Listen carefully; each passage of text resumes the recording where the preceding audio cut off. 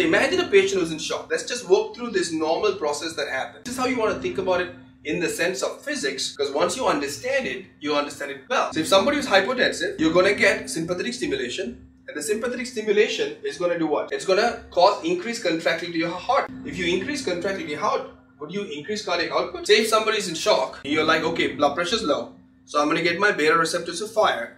Beta receptors are going to fire sympathetic. Sympathetic is going to stimulate your heart, stimulate your beta 1.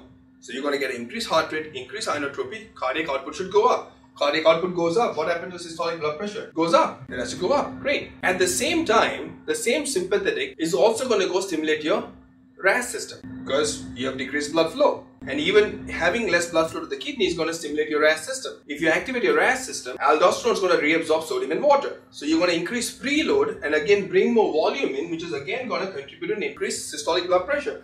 And then what's going to happen to your diastolic blood pressure? Because you're going to have resistance and it's going to increase. But imagine if a patient had septic shock.